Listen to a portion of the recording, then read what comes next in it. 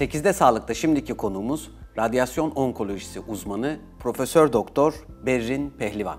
Hocam hoş geldiniz. Hoş bulduk. Hoş Nasılsınız? geldiniz Hoş bulduk. İyiyim sağ olun sizler. Bizler de iyiyiz, teşekkür ederim. Hocam, bir radyasyon onkoloğu olarak ben kanserli hastalara daha değişik bir yaklaşım tarzınız olduğunu biliyorum.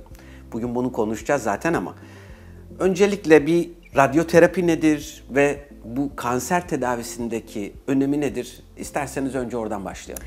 Evet, e, gerçekten oradan başlayalım çünkü radyoterapi, yani kanser denince akla aslında kemoterapi ve cerrahi geliyor. E, ancak radyoterapi kanser tedavisinde kullandığımız ana tedavi yöntemlerinden biri ve 2005 yılında yayınlanan bir dataya göre e, kanser hastalarının %40'ı radyoterapi, %49'u cerrahiyle tedavi ediliyor, %11 ile. Tabii ben kür sağlanan hasta oranını söylüyorum. Yani %40 ve 49 cerrahi ve radyoterapi tarafında, %11 sadece kemoterapi. O yüzden radyoterapiyi çok anlamış değiliz aslında ama gelişen teknolojiyle ve kanser hakkında bilgimizin de artmasıyla birlikte aslında biz giderek çok daha fazla hastaya radyoterapi uyguluyoruz. E, radyoterapinin belki ilk başlarda biraz kötü algısı vardı. Belki e, bu kadar çok bilinmemesinin sebeplerinden biri de o. Çünkü biz e, çok geniş alanlar ışınlıyorduk önceden ve hastaya bir, bir miktar yan etki veriyorduk. Ama gelişen teknolojiyle birlikte ışın demetlerini tümöre yönlendirip çevresindeki normal dokuyu en iyi şekilde koruyabildiğimiz için artık çok etkin, cerrahiyle eşit sonuçlar veren ve yan etki profili çok daha az, hastanın hayat kalitesine çok daha az zarar veren tedaviler yapabiliyoruz artık. Ee, bir de radyoterapiyi biz son zamanlara kadar e, lokal bir tedavi, yani cerrahi gibi uygulandığı yerde etkisini gösteren bir tedavi olarak bilirdik ama radyoterapinin de immünolojik bir etkisi var. Artık son yıllarda en çok konuştuğumuz, tartıştığımız, üzerine araştırma yaptığımız konulardan biri. Şöyle ki e, radyoterapi bağışıklık sistemini uyarıyor. iyi yönde uyarıyor. E, o yüzden de hem uygulanan diğer tedavilerin etkinliğini arttırıyor hem de biz vücudun belli bir bölgesine radyoterapi uygularken başka yerde de bağışıklık sistemin aktive olduğunu ve belki de var olan bir tümörün küçüldüğünü gözlemleyebiliyoruz. o yüzden de Onkolojik tedavide çok önemli bu bağışıklık Evet. sisteminin. Bağışıklık sistemi çok çok önemli. Mesela Covid döneminde herkes tedavileri kesti, cerrahiler ötelendi, kemoterapiler ötelendi ama biz radyoterapiyi çok güvenli uygulayabildik. Çünkü e, immünolojik sistemi yani bağışıklık sistemini çökertmeyen bir tedavi şekli. Bir de son yıllarda kanser tedavisinde e, immüno, immünoterapiler kanser tedavilerinin sarı haline geldi. Biz en çok immünoterapileri konuşur, immünoterapilerle ilgili çalışmalar yapıyor olduk. E, tabii ki immünoterapi ve radyoterapinin kombinasyonları birlikte kullanımı da artık çok iyi sonuçlar veriyor ve gerçekten de kanser tedavilerine ve tabii ki beraberinde radyoterapiye bakış açımız da hepimizin değişti. Hocam peki e, radyo cerrahi nedir? E, radyoterapi seanslara ayrılıyor. Yani aradaki fark nedir? Bu konuyu da bir izah edebilir misiniz Şimdi biz bizlere? normalde radyoterapiyi küçük küçük seanslara bölerek veriyoruz. Yan etki oluşmasını engellemek için. Ama radyo cerrahide e, daha e, kısa seanslar, en fazla 5 seans yapılıyor ve her seansı çok yüksek dozlar veriyoruz. Radyo cerrahi dememizin sebebi aslında kesici, e, delici Cerrahi bir deyince işlem evet. değil. E, sadece cerrahiyle aynı sonuçları veriyor. E, birçok uygulandığı birçok yerde cerrahiyle yapılan e, tedavileri e, oranla aynı e, kontrol oranları sağlıyor. Hastanın e, hayat kalitesini de bozmadığı görülüyor. O yüzden de yine radyo cerrahi gelişen teknolojiyle birlikte çünkü biz ışın demetlerini radyo cerrahide çok küçük binlerce ışın demetini be- belli bir bölgeye yönlendiriyoruz ve orada dediğim gibi cerrahinin yaptığı gibi belki bir lazer etkisi diye açıklamak lazım. O şekilde tümörün yok olduğunu gözlemliyoruz. En azından üremesini durduruyoruz ve bu kesici delici bir işlem değil. İyi ellerde, iyi cihazlarda, iyi ekiple, iyi bir doktorla yapıldığı zaman çok ciddi yan etkiler de vermiyor ve dediğim gibi birçok lokalizasyonda, birçok bölgede artık e, cerrahiyle yarışır durumda. Peki burada bir hasta seçimi var mı? Yani e, aslında önce şöyle özetleyelim izleyiciler için. Radyoterapi dediğimiz şey tümöre basitçe ışınlar göndererek bunun çoğalmasını engellemek, Engellemek. mümkünse de küratif Öldürmek. şekilde o, tedavi edecek şekilde ortadan kaldırmak. Bu radyo cerrahi dediğiniz çok bu anlamda e, etkili olduğunu anlıyorum. Bunun bir e, kriteri var mı yani? Şu hastalar daha uygun gibi. E, çok büyük olmaması gerekiyor tümörün sadece. Genelde 5 santime kadar, e, özellikle ilk 3 santimdeyse o zaman tabii ki çok daha rahat bir şekilde uyguluyoruz. Ama gelişen teknolojiyle 5 santime kadar olan tümörlerde uyguluyoruz. Ve e, gerçekten sonuçlar dediğim gibi çok lokalize. Yani karaciğerdeki, akciğerdeki bir tümörde, beyinde, e, vücudun herhangi bir yerindeki bir tümörü e, çok rahat bir şekilde radyo cerrahi ile ışınlayabiliyoruz ve e, bu sadece en fazla 5 seansta hastanın yatmasına gerek yok hastanede. Çok ciddi bir yan etki iyi ellerde uygulandığı sürece olmuyor. Ee, ve hasta e, aynı şekilde hayatına devam ediyor. Bu bence çok önemli. Çünkü bizim Evet. kanser tanısından korkmamızın en büyük sebeplerinden biri alacağımız tedaviler ve hayattan bir süre için alıkonulmamız ve e, oluşan yan etkiler. E, Oysa radyoterapide ve radyo cerrahide böyle yan etkiler yaşamıyoruz. Birçok hastamız sabah e, gelip tedavisini alıp öğleden sonra işe gidiyor ya da tam tersi bütün gün çalışıp akşam evine giderken tedavi, uğrayıp tedavisini alıp gidebiliyor. E, O yüzden de çok daha pratik ve e, Etkili. etkili bir tedavi şekli. Kesinlikle. Hocam peki cerrahiden üstünlüğü var mıdır? E, cerrahiden üstünlüğü herhalde bi- bittikten sonra cerrahide olduğu gibi bir iyileşme dönemine ihtiyaç duymaması e, kişilerin. Çünkü cerrahi sonuç itibariyle bir ameliyat, anestezi alıyorsunuz, bir takım riskler içeriyor ve e, sonrasında bir iyileşme dönemi var. Nereye ameliyat ettiğinizi ve ne kadar geniş bir ameliyat yaptığınıza bağlı olarak. Ama ra- radyo cerrahide genel olarak böyle bir şey yok. Sadece çok yüksek dozlar uygulanıyor her seansta ve bunun gerçekten de çok e, iyi ellerde, uzman ellerde, iyi cihazlarda yapılması gerekiyor. Çünkü bizdeki algı genelde şeydir, cerrahi hastalandır. Tabii bir cerrah bunu söylememek lazım belki ama e, Yok, cerrahi hastalandır ve e, cerrahinin iyi bir cerrah tarafından yapılması gerekir. Sonra gerisi zaten her yerde her şekilde yapılır şeklinde ama ben e, mesleğe yeni başlayan tekniker arkadaşlara ve radyasyon onkolojisi uzmanlarına hep şunu söylüyorum. Yapılan kötü bir cerrahi bile belki telafi edebilirsiniz. Tekrar açarsınız, tekrar opere edersiniz ama verdiğiniz kötü radyasyonu geri alma şansınız yok. E, çünkü yanlış yere ver- verirseniz dozu tümörü kaçırabilirsiniz ve tümörü kontrol edemezsiniz. Aynı şekilde normal dokuya yüksek dozu verirseniz de hastanın hayat kalitesini, kalitesini bozarsınız. E, bazen hayat kalitesini bozmaktan öte hastayı kanatabilirsiniz, kör edebilirsiniz.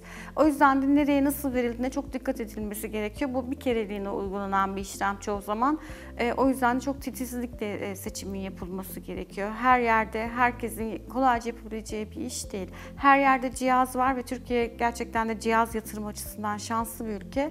E, ama nerede nasıl tedavi aldıkları konusunda birazcık daha belki insanların uyanık olması Bilinçli gerekiyor. olmaları lazım. Evet. Çünkü Bu bu konuda tümör- da evet, Evet. seçmeleri gerekiyor doktorlar. Bu tümörler bazen beyinde, omurilikte yani etrafta kritik çok, yerlerde. kritik Evet, organların çok kritik olduğu yerlerde yerlerde. olabiliyor. Dolayısıyla ışının iyi ellerde yönetilmesi bence çok önemli. Bir de bir şey söylediniz. Bu e, onu özellikle tekrar vurgulayalım isterseniz.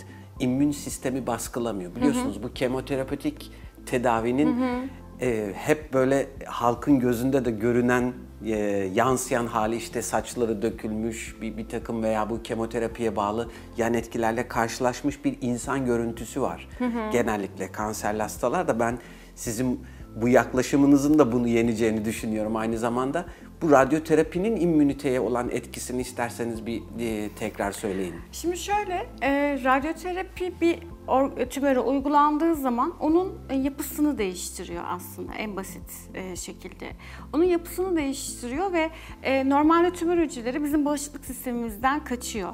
E, ve yapısı değiştiği için ve daha da mutajenik bir hale geldiği için bağışıklık sistemi tarafından daha da tanınır bir duruma geliyor radyoterapiden sonra. Hem de bir takım e, stokin dediğimiz kimyasallar salgılanıyor ve o kimyasalların etkisiyle de aynı şekilde bağışıklık sistemi uyarılıyor. E, biz kendi aramızda konuşurken bile radyoterapinin immünolojik etkisi dediğimizde işte abskopal efekt dediğimiz bir şey vardır. Bir yere radyoterapi uygularsınız, başka bir yerdeki metastazın da eridiğini görürsünüz, küçüldüğünü görürsünüz ama bundan daha fazlasını yapıyor aslında radyoterapi. Radyoterapi uygulandığı yerdeki tümörel hücrelerin, tümörlü hücrelerin e, bağışıklık sistemi tarafından daha fazla tanınmasını sağlıyor. Bunun yararı? Tabii ki bağışıklık sistemi aktive oluyor ama Aynı zamanda dediğim gibi immünoterapiler mesela en çok kullandığımız, en çok şu an medet umduğumuz tedavilerin başında geliyor. E, medikal onkoloji kısmına, tıbbi onkoloji kısmına tabii ki yani kemoterapiyi uygulayan e, bilim dalında. E, immünoterapilerle birlikte radyoterapi uygulanması immünoterapilerin etkinliğini arttırıyor. E, buna da bizim ihtiyacımız var. İmmünoterapileri uygularken e, elimizde silah olarak ne varsa onların hepsini kullanmak zorundayız. Hastanın hayat kalitesini, psikolojik durumunu, bağırsaktaki florasının durumunu, yemesini, içmesini, her şeyini düşünmek zorundayız. Çünkü immünoterapiler şu an evet onkolojideki en çok e, bizim gündemimizi teşkil eden konular ama sonuç itibariyle sadece %15-20'lik bir hasta grubunda işe yarıyor. E, ve 2 yıl süreyle maksimum iş, hastada bir e, kür sağlıyor. Sonrasında tümör tekrar geri geliyor. O yüzden de bizim kanser tedavilerinde özellikle de erken evreyi kaçırmış, metastatik evre ya da işte lokal ileri dediğimiz olduğu yerde büyümüş ya da olduğu yerde yayılmış bir tümörü tedavi ederken elimizdeki tüm silahları çok iyi bir şekilde değerlendirmemiz gerekiyor. İmmünoterapi olan hastalarda e, uygulanabilecek her şey, etkinliği arttırmak için, bağışıklık sistemimizi güçlendirmek için yapılacak her şeyi bizim planlamamız ve tedavilerle birlikte uygulamamız gerekiyor. Çünkü bu tedavileri çoğu zaman biz bir kez verebiliyoruz ve e, o onu verdiğimiz zaman da her yönüyle düşünüp e, olabilecek e, tüm alternatifleriyle, tüm e, ek tedavileriyle, alternatif te- tamamlayıcı tedavileriyle, alternatifi çok sevmiyoruz, tamamlayıcı tedavileriyle birlikte vermek tedavinin etkinliğini arttıracak verdiğimiz radyoterapinin, e, kemoterapinin ya da immünoterapinin. Bunun yanı sıra hastaların bunu tolere etme gücü de artacak. Çünkü buradaki en büyük sıkıntılardan biri oluşan yan etkiler ve hastalar tedaviye devam edemiyorlar ya da etmek istemiyorlar. Oysa hastanın hayat kalitesini arttırdığınızda tedaviye uyumu da artacak. E, böyle olunca tabii ki e, aynı şekilde tedavilerin etkinliği artacak. Her şekilde bizler artık kanser tedavilerinde olaya sadece radyoterapi, sadece cerrahi ya da sadece kemoterapi, immünoterapi diye bakamayız. Kişiyi bir bütün olarak değerlendirmek zorundayız. Onun psikolojik durumu, yemesi, içmesi, alışkanlıkları, aile bireyleri varsa çoluğu çocuğu her şeyiyle değerlendirmemiz e, ve e, ona o şekilde yaklaşmamız gerekiyor. Sadece kemoterapi, radyoterapi diye bakarsak açıkçası kendimize de ihanet etmiş oluruz. Çünkü verdiğimiz tedavilerin etkinliği azalıyor. Çok daha etkin, çok daha insani tedaviler verebilecekken e, siz sadece kendi elinizdeki silahı çok güvenerek, çok bağnaz bir şekilde onunla tedavi etmeye kalkarsanız e, hem kendinizi hem de hastayı yarı yolda bırakmış oluyorsunuz aslında. O yüzden e, kanser tedavileri artık e, çok yönlü bakış açısı gerektiren, çok multidisipliner yaklaşılması gereker. Her yönüyle kişiyi ele alması gereken tedaviler haline geldi. Yani paradigma tamamen değişiyor ve bizim aslında hala 21. yüzyılda e, 21. yüzyıl bilim teknolojisiyle, aklıyla kansere yeniliyor olmamızın iki sebebi var açıkçası. Ee, birincisi kanser algısı. Kanser tanısı aldığımızda biz hemen e, vazgeçiyoruz hayatta. Öleceğimizi düşünüyoruz ve teslim oluyoruz. Bir bu. ikincisi de biz kanserin genetik ve immünolojik özelliklerini yani bağışıklık sistemiyle ilgili özelliklerini bilmeden tedavilere başlıyoruz. Körlemesinde protokollerle başlıyoruz. İşte kemik tümörü tanısı alınıyor. E, şu protokolü uygulayalım, şu şekilde gidelim. Meme kanseri tanısı şöyle gidelim şeklinde. E, her e, organ bazlı e, protokollerimiz var. Evreye göre, organa göre onları yapıyoruz. Oysa her tümör birbirinden bağımsız, her tümör birbirinden ayrı. Kişinin kendi genetik özellikleri ayrı. Bazen kişi içerisindeki tümörün genetik özellikleri bile birbirinden farklı olabiliyor. Primer tümörle metastatik tümör bile birbirinden çok farklı olabiliyor. Biz eğer e, kanserli hücrelerin, kanserli dokunun tüm genetik ve immünolojik özelliklerini bilirsek ve buna göre tedaviler planlarsak zaten e, bu işi büyük oranda çözmüş oluyoruz. E, ama hem kanser algısı hem de körlemesine tedaviler, gerekli olan e, analizi yapmadan başladığımız tedaviler bizi birazcık kanser tedavileri konusunda başarısız kılıyor ama bu giderek değişiyor. Değişecek, Ee, evet. Evet giderek değişiyor. Bayağı bir yol kat ettik. Ee, televizyonda gördüğümüz her küçük haber bizi çok heyecanlandırıyor. Kansere çare bulundu mu şeklinde. Ama hali hazırda zaten biz e, kanseri büyük oranda tedavi edebiliyoruz.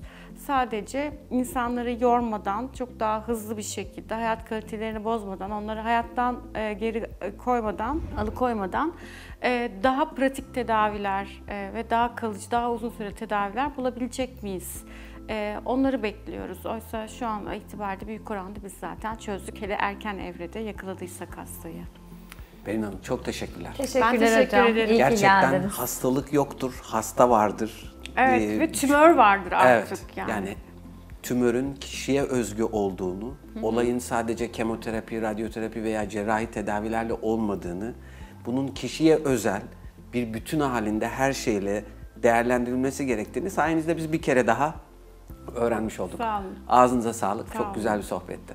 Şimdiki konuğumuz radyasyon onkolojisi uzmanı Profesör Doktor Berin Pehlivan'dı. Ee, kansere tabiri caizse kendi yaklaşımını bir kez daha anlattı. Çok güzel bir sohbet oldu. 8'de sağlık şimdi kaldığı yerden devam ediyor.